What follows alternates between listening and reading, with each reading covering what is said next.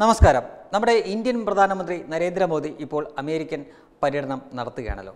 കഴിഞ്ഞ ദിവസം അദ്ദേഹം അമേരിക്കയിലോട്ടുള്ള യാത്രാമധ്യേ അദ്ദേഹത്തിന്റെ തന്നെ പേജിൽ ഫേസ്ബുക്ക് പേജിലും ട്വിറ്ററിലുമൊക്കെ ഒരു ചിത്രം അദ്ദേഹം പോസ്റ്റ് ചെയ്യുകയുണ്ടായി. വിമാനത്തിന്റെ അതായത് ഇന്ത്യയുടെ ഔദ്യോഗിക വാഹനം പ്രധാനമന്ത്രി പ്രസിഡന്റ് ഒക്കെ യാത്ര ചെയ്യുന്ന നമ്മൾ ഈ അടുത്ത കാലത്ത് പുതിയതായിട്ട് വാങ്ങിയ ബോയിങ്ങിന്റെ ഒരു അത്യാധുനിക വിമാനമുണ്ട്. അതിന് അതിനകത്ത് അദ്ദേഹം ഏകനായിരുന്നു ഫയൽ നോക്കുന്ന ഒരു ചിത്രമാണ്. ഈ ചിത്രം വളരെ വേഗം തന്നെ വൈറലാകുകയുണ്ടായി. വൈറൽ എന്ന് പറഞ്ഞു കഴിഞ്ഞാൽ ഒരു രക്ഷയില്ലാത്ത രീതിയിലാണ് അത്രയേറെ ഈ ചിത്രം പ്രചരിക്കുകയുണ്ടായി. അപ്പോൾ ബി ജെ പിക്കാർ തന്നെ ഇത് ഒരുപാട് ഷെയർ ചെയ്യുകയുണ്ടായി. ഇന്ത്യയിൽ ഇന്ത്യയിൽ മാത്രമല്ല ലോകത്ത് അങ്ങോളം ഇങ്ങോളം ഇത് കണ്ടിട്ട് കോൺഗ്രസ്സിന് ഇരിക്കപ്പെടുകയില്ല അസൂയ മൂത്ത് അവർ എന്ത് ചെയ്തതെന്നറിയാമോ? രണ്ടായിരത്തി പതിനാലിന് മുമ്പുള്ള യു പി എ കാലഘട്ടത്തിൽ മൻമോഹൻ സിംഗ് അന്ന് മൻമോഹൻ സിംഗ് ആണ് നമ്മുടെ പ്രധാനമന്ത്രി. അദ്ദേഹം ഇതേപോലെ വിദേശ യാത്ര ചെയ്യുമ്പോൾ ഒരു പട അതായത് പത്തിരുപത് പേരോളം വരുന്ന വലിയ ഒരു ഗ്രൂപ്പിനെയും കൊണ്ടാണ് പോകുന്നത്. മാധ്യമങ്ങൾ. മാധ്യമപ്രവർത്തകർ മാത്രമാണ് അദ്ദേഹം പോകുന്നത്. ഏതെങ്കിലും ഔദ്യോഗിക ഉദ്യോഗസ്ഥരോ അല്ലെങ്കിൽ അതേപോലെയുള്ള ആൾക്കാർ മാത്രമല്ല സെക്യൂരിറ്റി മാത്രമല്ല. ഇതേപോലെ ഒരു വലിയ കൂട്ടം മാധ്യമ പടകളോടുണ്ട്. അവരെയും കൊണ്ട് പോകുന്നു. ആ വിമാനത്തിനകത്ത് വെച്ച് അദ്ദേഹം പത്രസമ്മേളനം നടത്തുന്നതായിട്ടുള്ള ചിത്രം ട്വിറ്ററിൽ പോസ്റ്റ് ചെയ്തിട്ടു. അവർ അതിനൊരു ക്യാപ്ഷനും കൊടുത്തിരിക്കുന്നു ചില ചിത്രങ്ങളൊന്നും അനുകരിക്കാൻ പറ്റില്ല അത്രേ.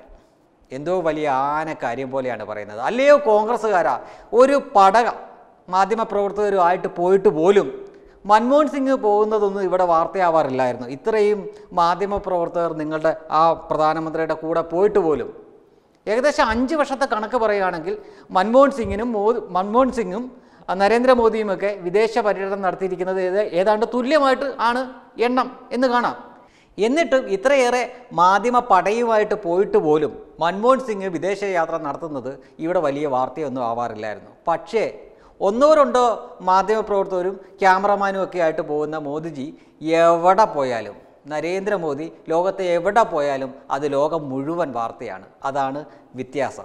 പിന്നെ മോദി പ്രധാനമന്ത്രി ആയതിനു ശേഷവും മാത്രമല്ല അദ്ദേഹം മുഖ്യമന്ത്രി ആയിരുന്ന സമയത്തും ഈ മാധ്യമ പ്രവർത്തകരെ എഴുന്നള്ളിച്ചുകൊണ്ട് നടക്കുന്ന പണി അദ്ദേഹത്തിന് മുമ്പും ഇല്ലായിരുന്നു ഇപ്പോഴും ഇല്ല ഇനി നാളെയും ഉണ്ടാവും പോകും തോന്നുന്നില്ല.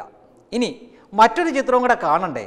ദാ ബർക്കാദത്ത് എന്നൊരു മാധ്യമ പ്രവർത്തകമുണ്ടല്ലോ യു പി എ കാലത്ത് അവർ രാജകീയമായിട്ട് നോക്കൂ വി ഐ പി മോഡലിലാണ് നടന്നു പോകുന്നത്. അതേ അവർ തന്നെ ഈ എൻ ഡി എയുടെ കാലഘട്ടത്തിൽ അതായത് ഈ ബി ജെ പി ഭരിക്കുമ്പോൾ മോദി പ്രധാനമന്ത്രിയായിരിക്കുമ്പോൾ ഏതവസ്ഥയിലാണ് നിന്ന് മാധ്യമപ്രവർത്തനം നടത്തുന്നത് എന്ന് നോക്കൂ. ഇതാണ് വ്യത്യാസം. ഇതും അനുകരിക്കാൻ പറ്റില്ല കോൺഗ്രസ്സുകാരാ. ഇനി മറ്റൊരു കാര്യമുണ്ട്. അത് ഒരു കാലത്തും മോദിക്ക് അനുകരിക്കാൻ പറ്റും തോന്നുന്നില്ല. നിങ്ങളുടെ പ്രധാനമന്ത്രിയും നിങ്ങളുടെ സോണിയ മോഡവും ചെയ്ത് കാണിച്ചു തന്നതാണ് നമ്മൾ ഇന്ത്യക്കാരെ. തല കുനിച്ചുകൊണ്ടല്ലാതെ അത് നോക്കി നിൽക്കാൻ പാ പറ്റില്ല നോക്കൂ അത് തന്നെയാണ് ഞങ്ങൾ കാണിച്ചു കൊണ്ടിരിക്കുന്നത് മറ്റൊരു രാജ്യത്തെ ഒരു രാഷ്ട്രത്തലവൻ ഇവിടെ വന്ന് പ്രധാനമന്ത്രിയെ കണ്ട് സംസാരിക്കേണ്ട ആ സ്ഥാനത്ത് ആരാണ് അവരെ സ്വീകരിക്കുന്നത് എന്ന് നോക്ക്. അന്ന് വെറും എം പി മാത്രമാണ് സോണിയാഗാന്ധി.